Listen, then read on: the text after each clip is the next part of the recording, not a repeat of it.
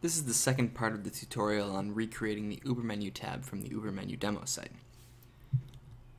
So here's what we have so far. We've added two widgets to one menu item widget area. So, so far we have our recent posts and our map. So now we're going to add a third widget area to create this contact form.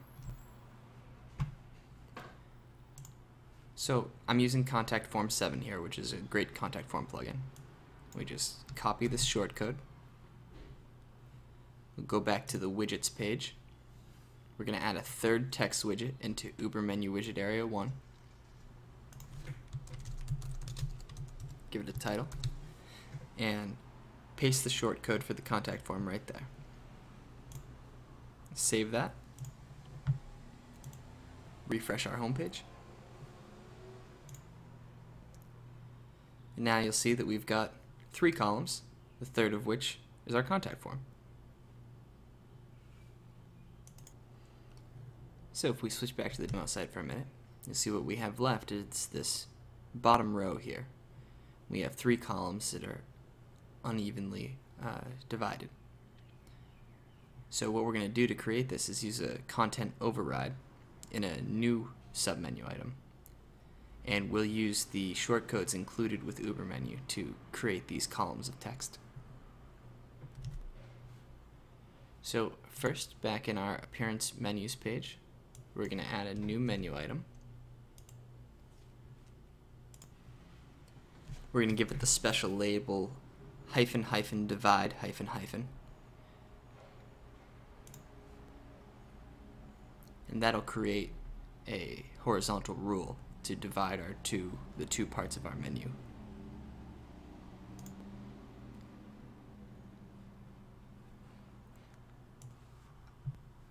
I'm also going to quickly give it a special class. I can reveal that option up in Screen Options, CSS Classes. And this will ensure that the item actually takes up the full row. That's full width row.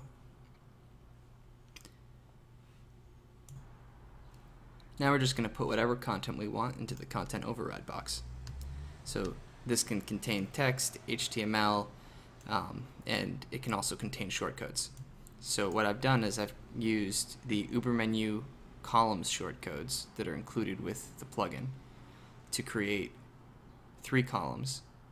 So I wrap them in an UberMenu call group tag, and then for each column we have an Uber menu col shortcode and for the first one, I set the colspan to 2. And the other ones are just normal. And the text inside doesn't really matter. So we'll save our menu.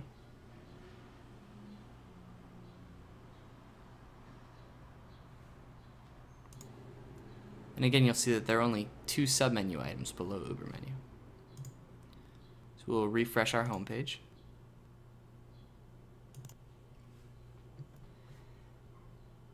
Now you'll see that what we have is our second menu item down here, which contains the three columns that we created via shortcodes.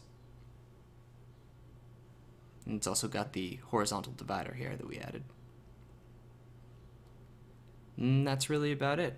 Now you can see that we've recreated the the UberMenu tab from the demo.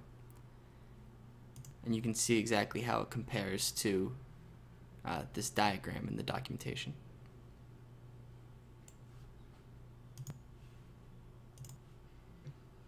And in the next tutorial, we'll cover how to create a an image-only menu item and add a search bar.